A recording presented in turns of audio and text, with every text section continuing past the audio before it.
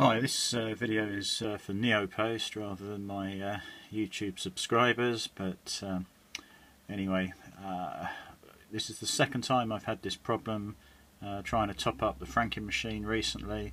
Um, it's always been on a you know weekend or bank holiday because nobody's monitoring your systems, which you know is is useless. I need to be able to top up my franking machine 24/7, bank holidays or not whether you know most people don't frank mail on Sundays or bank holiday Mondays isn't relevant. I do, and I need it working. Let me show you what's happening. I did report this before, and I'm sure nobody did anything about it. So we're going to try and top up with £30.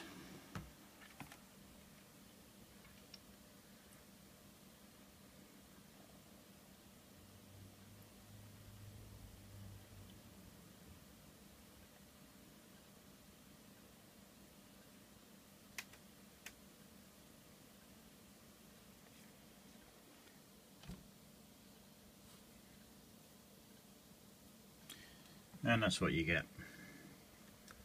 Now you might think, well maybe the requested amount was too high, but it isn't because I've just uh, added funds earlier to the account.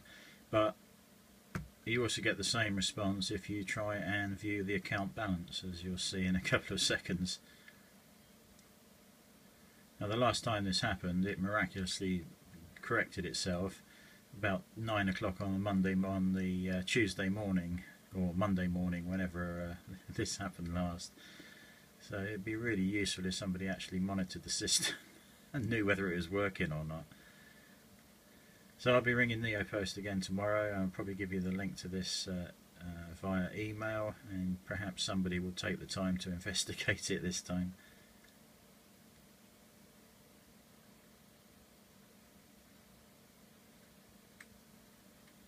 Uh, for my subscribers I will be having some uh, new videos uh, shortly. Haven't done anything for quite a while for one reason or the other uh, but we'll uh, we'll have some more hopefully today or tomorrow. Now this takes quite a long while before it fails. Yeah there you go. And that's the problem and I've had that all day long. So uh, yeah it'd be nice if we didn't have to worry about this sort of thing and it's disrupted my day because I've got a whole load of orders to process to be collected by the postman in the morning. So that means me rushing around first thing in the morning trying to sort this out when I had all day long to do it today.